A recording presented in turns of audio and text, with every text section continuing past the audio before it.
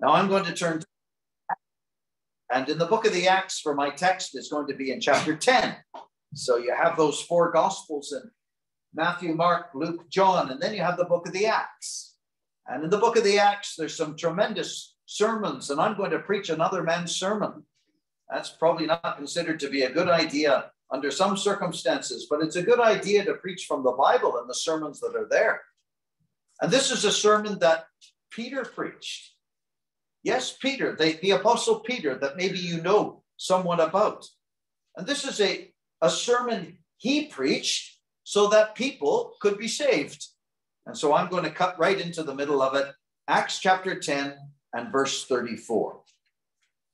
Acts chapter 10 and verse 34. Then Peter opened his mouth and said, Of a truth, I perceive that God is no respecter of persons, but in every nation, he that feareth him and worketh righteousness is accepted with him. The word which God sent unto the children of Israel, preaching peace by Jesus Christ, he is Lord of all. That word I say, ye know, which was published throughout all Judea and began from Galilee after the baptism which John preached. How God anointed Jesus of Nazareth with the Holy Ghost and with power, who went about doing good and healing all that were oppressed of the devil, for God was with him. And we are witnesses of all things which he did, both in the land of the Jews and in Jerusalem, whom they slew and hanged on a tree. Him God raised up the third day and showed him openly, not to all the people, but unto witnesses chosen before of God, even to us, who did eat and drink with him after he rose from the dead. And he commanded us to preach unto the people and to testify that it is he which was ordained of God to be the judge of quick or living and dead. To him give all the prophets witness that through his name, whosoever believeth in him shall receive remission or forgiveness of sins. Get that? Whosoever believeth in him shall receive remission of sins. Now may God bless to us Peter's sermon and what we're going to try to preach to you about it. We're taking up various truths this week, and I've just entitled them Certain Truths in Uncertain Times. And you would understand that there are things going on in this world that make things very uncertain. And if you're like myself, you've received a, a, a lovely, friendly letter from your local power company, just informing you in the most cheerful way possible that they have doubled the rates as of November 1st. And just to, just to add to your misery, you'll probably get another lovely letter from your favorite oil company who is going to inform you that they've doubled the rates, that they've doubled the price of oil. And if that's not enough, your friendly supermarket will no doubt be sending you a flyer, and you'll notice that the numbers are a lot bigger this month than they were last month. Oh, you say, isn't that great? Well, I tell you, the reason why those numbers are going up is because of uncertainties. I don't know if you've noticed, there's a bit of a skirmish over there in Eastern Europe, and it's created a bit of uncertainty, not to mention a few, maybe a few explosives going on on an underwater pipeline or two. And then don't forget about America. You wouldn't want to forget about America. And their inflation is this and that, and it's not as is expected, it's worse. And everything comes in, and you get a bit shaky. Uncertain times. The prime minister of a country not too far away is feeling a little shaky, pulling more U turns than I have ever done in a car in all my life and back and forth and all the different things going on. And people say one thing and they say another thing, and everything's all a bit shaky. You wouldn't be surprised if there would be an odd earthquake or two. I've experienced plenty of those, not in this country, thankfully. I know what it is to be shaken up over there on the Pacific Rim on both sides of the Pacific Ocean. Your phone lights up telling you you are experiencing an earthquake as if you didn't know. And there you were shaking back and forth. Things get uncertain. I like the fact when you land on an airplane, you get down to the earth here and everything's certain there. or the boat comes to the pier and you're just able to disembark and you feel you're on terra firma and you're just there in a bit of a permanent state. But then the ground begins to shake. And you say, Where do I go from here? It just could be that there's been an earthquake or two in your own personal experience, and you would feel a bit shaken up. And you would say, Where, where can I plant my faith? Where can I plant my feet? Where can I plant my belief structure? Where do I go for truth? Well, ladies and gentlemen, I go to the Bible, the rock solid anvil of truth, where the hammers of skepticism have been worn out beating against it.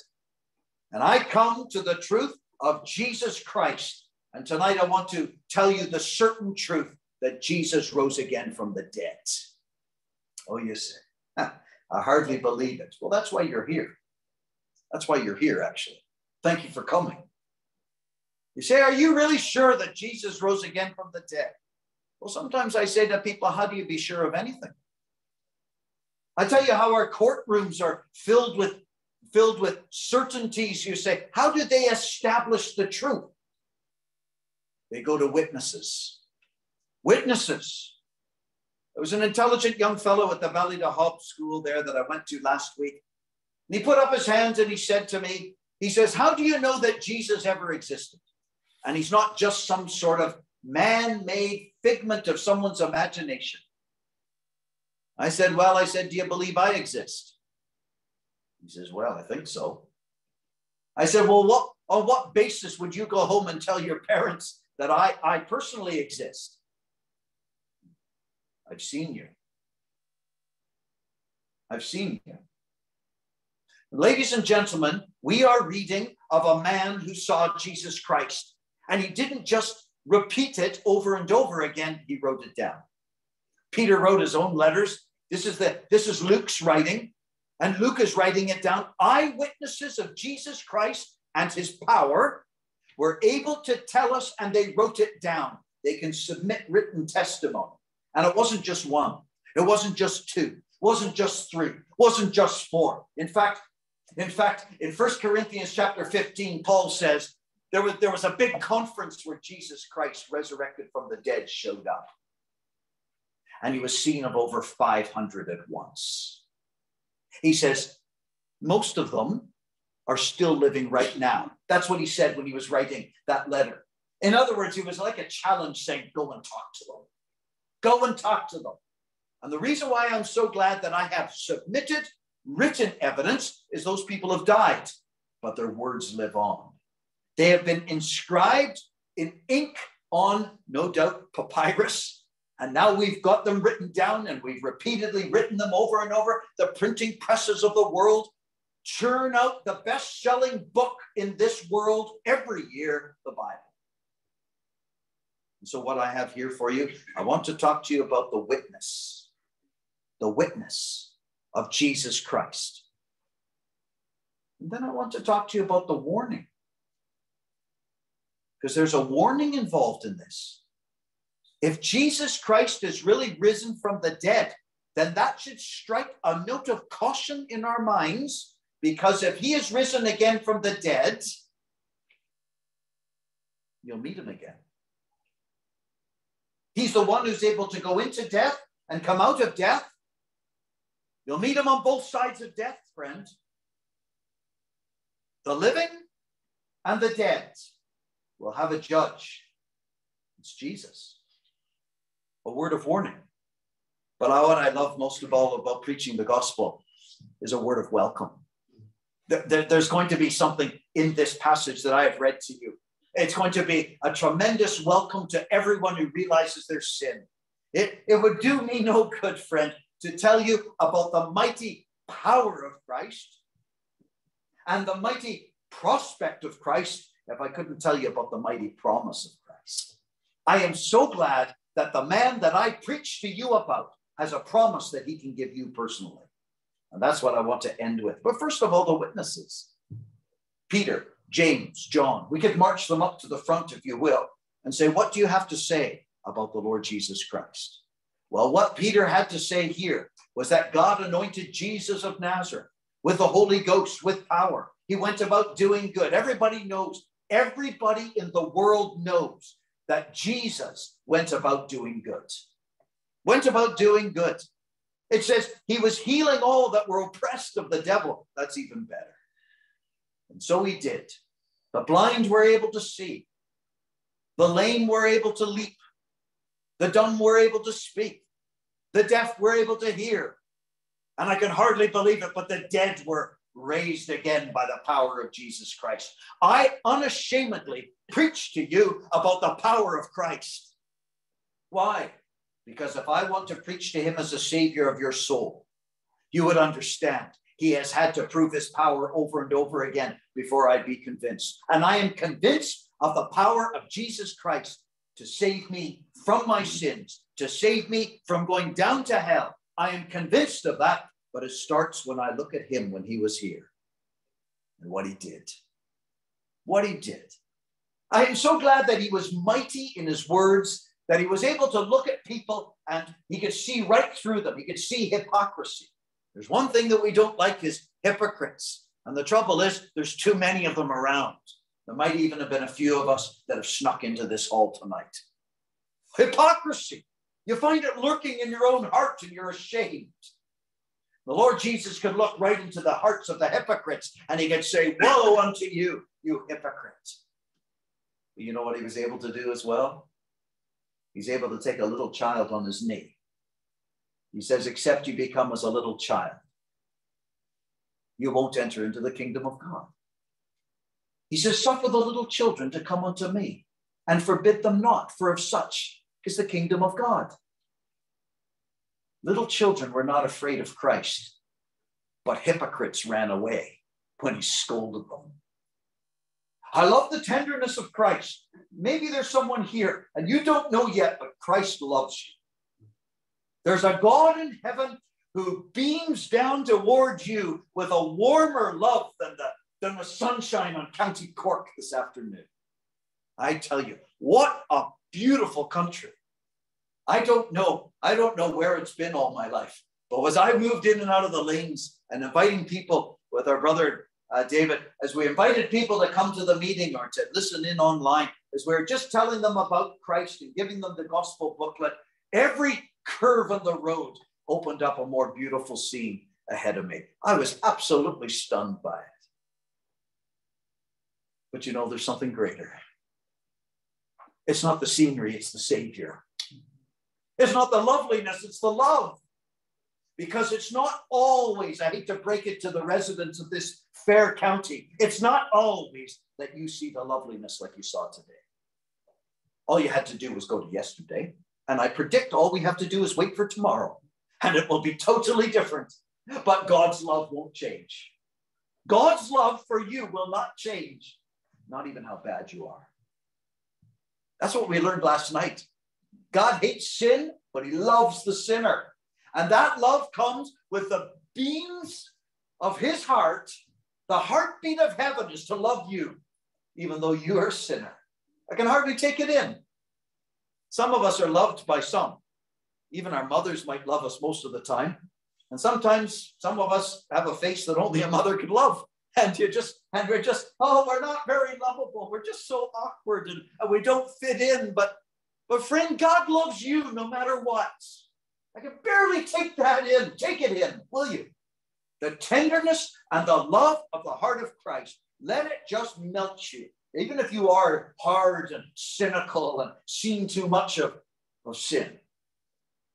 Let God's lovely Son and his love just touch your heart right now. He went about doing good. So he did. And men took him and nailed him to a cross. Nailed him to a cross. Away with this man. It must have been something of the loveliness of Christ that made sinners feel their sin. He was perfect, he was sinless. But there was something about Christ and all of his perfection that made human beings and all of their sin say we want rid of him. I've actually heard it said. I've actually heard it said Jesus lasted three and a half years of public ministry when he was here. He probably wouldn't last three months if he was here in 2022. I don't know what all they based that on, but when I heard that said, it just jolted me. Such is the wickedness of the world, such is the sinfulness of humanity, that a perfect human being we just want to discard him. They nailed him to a cross. But it was no surprise to God. God had already planned it. He went about doing good. Man nailed him to a cross and will be held responsible for that.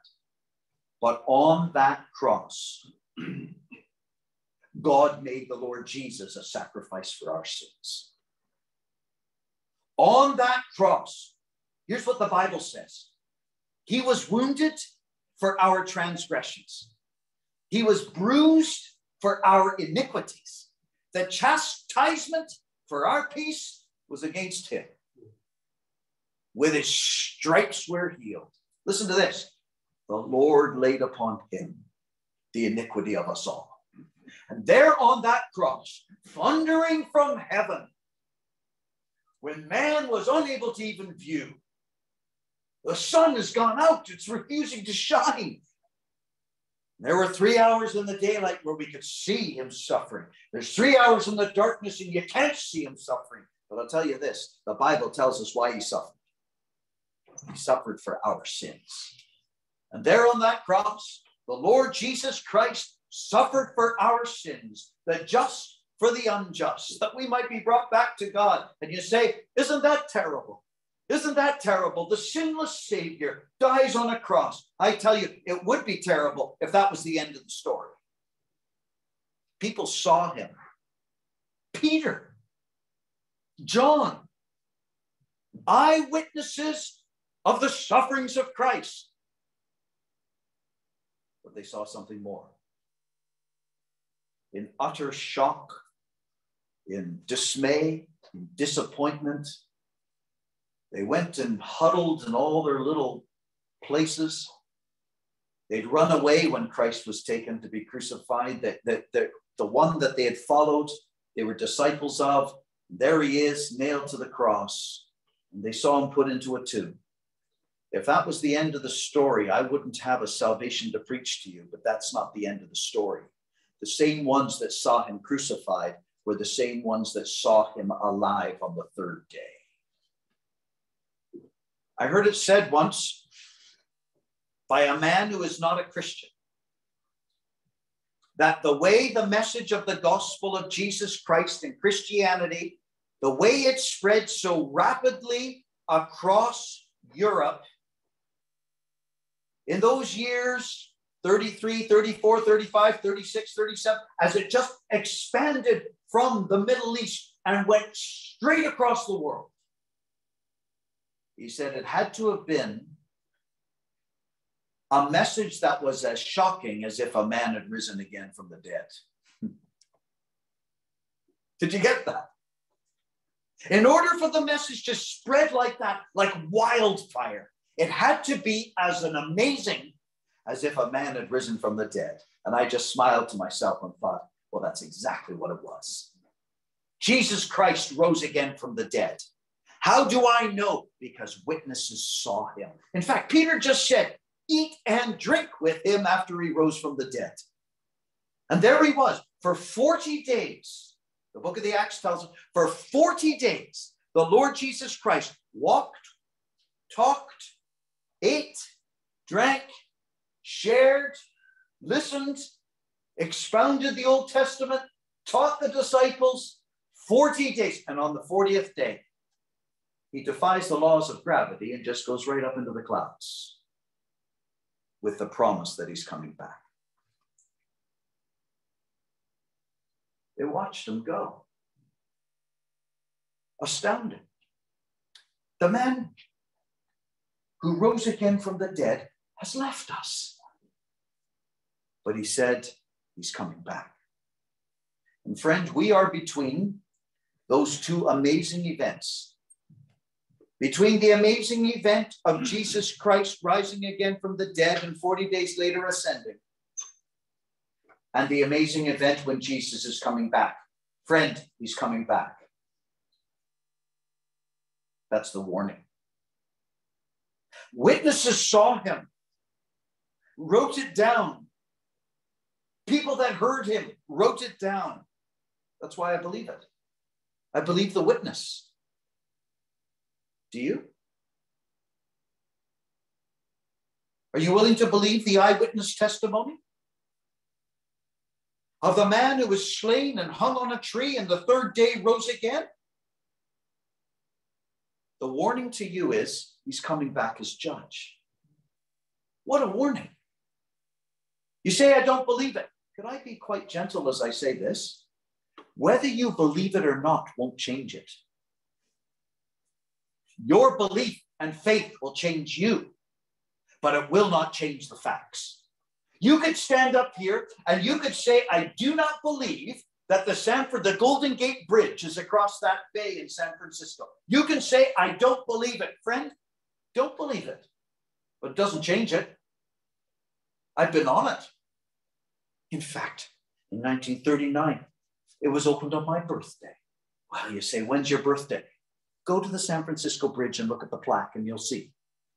I wasn't born in 39, just slightly after that. But I tell you this, friend, whether you believe it exists or not doesn't change the facts. And it should just chill your bones right now. If you've been defiant against Christ and defiant against God and have not bowed, I will assure you that the same Bible that tells us he rose again is the same Bible that says he's coming again.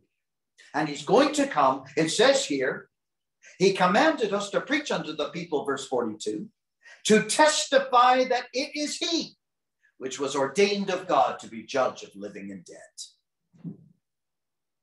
It should enter into my heart with a great deal of solemnity that if I defy and deny Christ, he will come as my judge.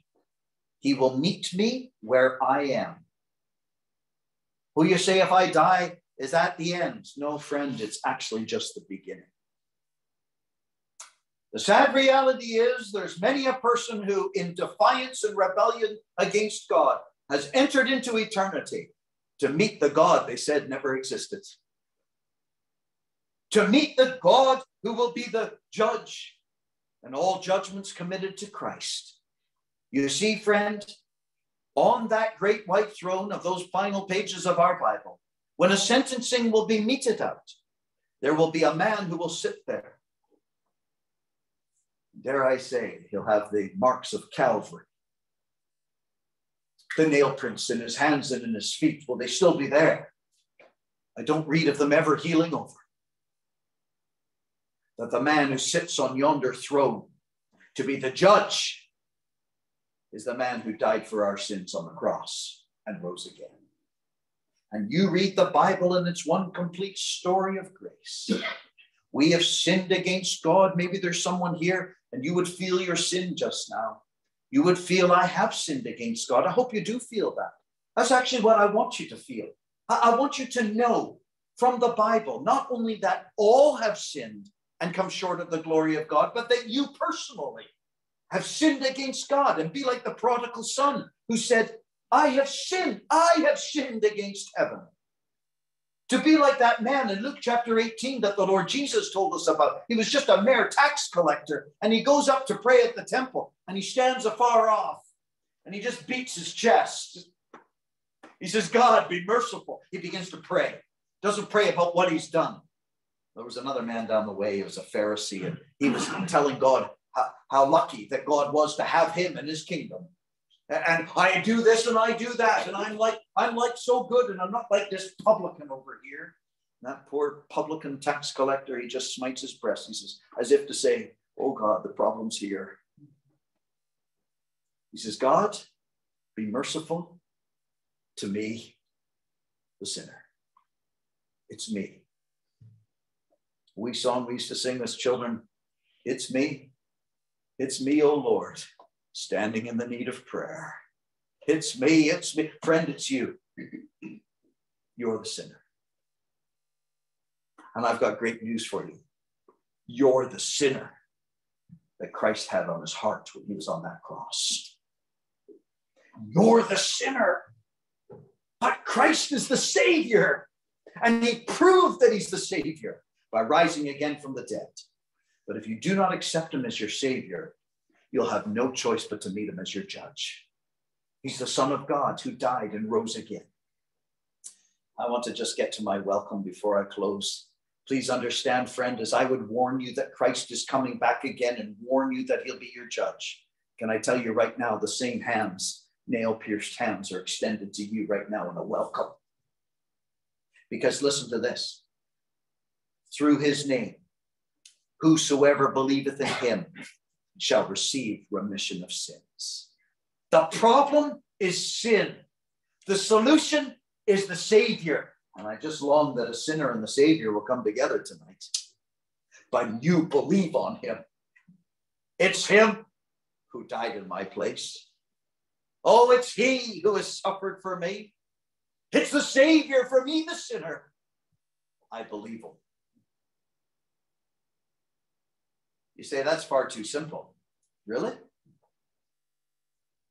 Don't tell Christ the cross was simple. Don't tell God that giving his well beloved son to die in our place was simple. It's profound. That's what it is. That the Creator takes upon himself human flesh to meet the need of the creature. The creature that's rebellious against him, the Creator and the creature are brought together when the Creator became man and died in his place, and died for him, died for the sinner and rose again to prove that it's done. It's, it's, it's sufficient. It, it satisfied God. God says, I am pleased with the death of my son and raised him again from.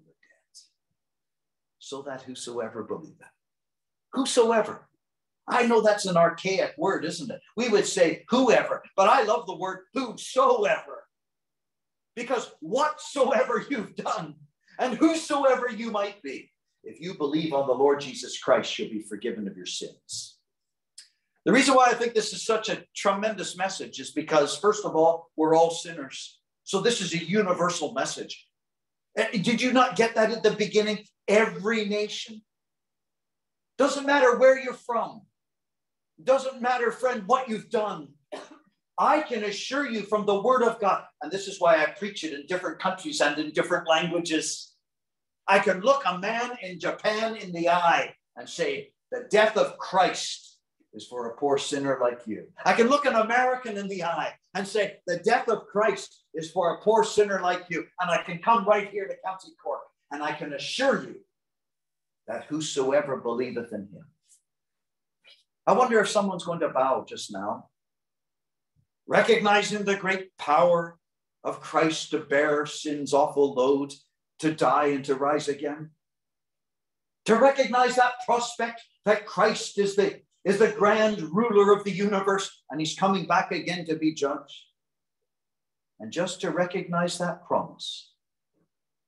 If he said that we're to preach that whosoever believeth in him should not perish, but have everlasting life, that's a promise. I wonder if you can believe the power acknowledge the prospect, and accept the Savior for yourself. Jesus rose again from the dead. Friend, that changes everything. That convinces me I need to believe on him. Oh, the tremendous, the tremendous privilege it is for me to tell you that there is a warm welcome awaiting you if you believe on the Lord Jesus Christ, God says, I'll receive you as a child of my own, and you're saved. May you do so. May you trust the Lord Jesus. Turn to him. Acknowledge what he's done is for, for you, the sinner. And when you believe on him, you will receive forgiveness of sins. Now that's a promise. Let us pray. Our Father, in the name of the Lord Jesus, we give thee our humble thanks for such a glorious message that we have to preach concerning thy Son. We thank thee for his power that he rose again. We thank thee for the prospect that he's coming again. And we thank thee, Father, for the promise that someone if they believe on him now, that they'll have their sins forgiven and be right with thee forever. Father, bless thy word to each person here, we pray, in the name of the Lord Jesus Christ. Amen.